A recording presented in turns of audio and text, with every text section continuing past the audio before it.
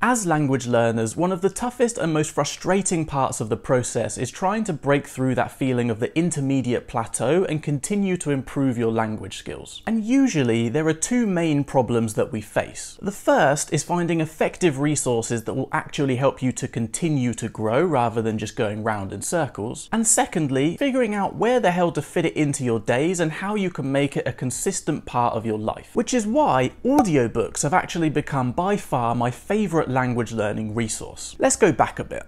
About a year into my Spanish learning journey, I was consuming quite a lot of video content on YouTube and even starting to be able to enjoy some series. But after a while, I couldn't help but feel like I was stagnating, like I was repeating the same things. And whilst I was getting better at those things, I didn't really feel like I was advancing. It was at this point that I started to explore reading in a foreign language. Now, I actually made a whole video on how and why you should start reading in Spanish, but to summarize, the main difference that I noticed with reading a book versus versus watching a series, for example, was the comparative density of the language that I would be exposed to in the same amount of time. For example, if I spend an hour reading, I'm going to see and be exposed to a much larger quantity of words versus if I spent an hour watching a series. Because in a book, they have to explain and describe every little detail and every little element with words. Whereas the nature of visual entertainment means that a lot of information is communicated to us visually, and words aren't used to communicate, describe, describe or explain these things. And because of that difference, there's also generally a much wider range of vocabulary used in a book. Okay, cool, that's fine, but why audiobooks rather than just reading physical books? When I first started reading in Spanish, I started listening to the audiobook whilst I was reading the physical book, and the main reason for this was so that I could continue to improve my listening comprehension rather than just reading. And so that, of course, is a benefit of audiobooks. You can continue to work on your listening comprehension whilst being exposed to a larger amount of the language. But a big benefit of audiobooks that I think is usually overlooked is that often they can actually be easier easier to understand than other types of content, like a podcast, for example, which would also be dense in language. And the reason for this is that audiobooks are performed. The words are a lot more clearly enunciated and projected. In a series, you'll often have lots of characters mumbling or dropping sounds, but this won't typically happen in an audiobook. And this is actually one of the main things that makes audiobooks such a great resource, in my opinion. The fact that you have these professional narrators and voice actors performing the content. The extra level of emotion and depth that they can add to the production not only helps you to stay focused, but also helps you to comprehend more because the tone of voice actually adds an element of context to what's being said that wouldn't be there if you were just reading by yourself with a physical book. But actually, the main reason that I've said that audiobooks have become my favourite language learning resource is because on top of all the things that I've just talked about,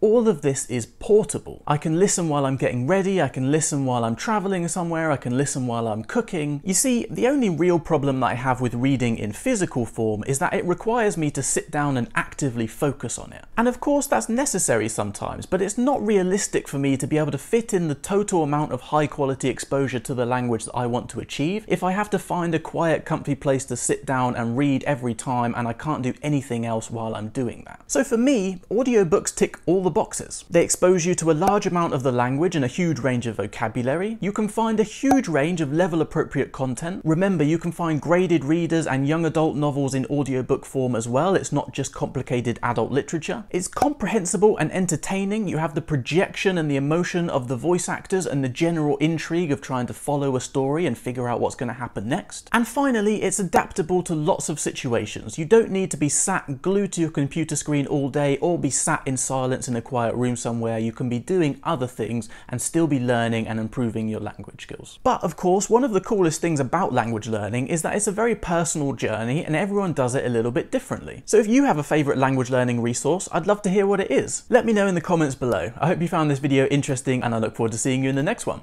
Hasta luego.